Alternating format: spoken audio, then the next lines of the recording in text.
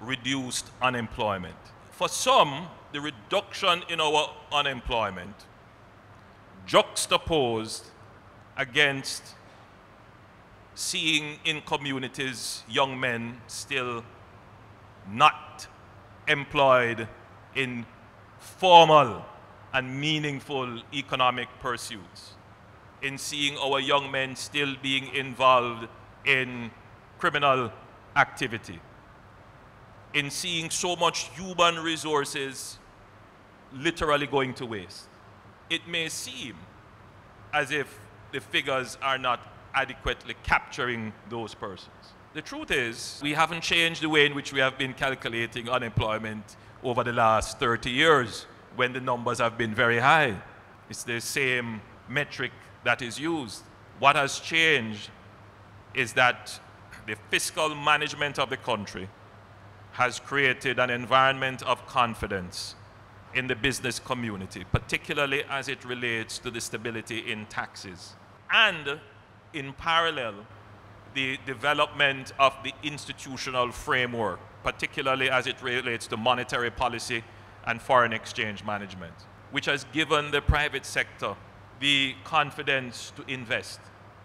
And this investment is pulling in to formal employment those persons who are willing to work, seeking work, have educated and upskilled themselves to be able to take advantage of work.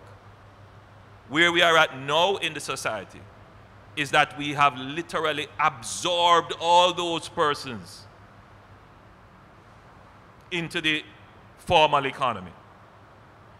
And so where we are now as a government, we never had this problem before, but it's a good problem to have. We have to rapidly engage those who are on the margins of our society, who have, by whatever circumstances, have decided that they don't want to participate in the labor force. Either because they may feel that the economics of the current wage level is such that it doesn't provide them an incentive to work, or that criminal activities may pay them better, or it may be that they have decided to stay home and be maintained. Or they may very well feel that because they have no education and no skills, it does make sense that they put themselves in the labor market. So the government has to create new programs through HEART NSTA and by extending the school leaving years. You would notice that we have added on two additional years to school leaving and we're putting in all kinds of programs to keep our youngsters in schools so that when they leave, the transition from school to work is seamless. All of these programs are being instituted as we speak.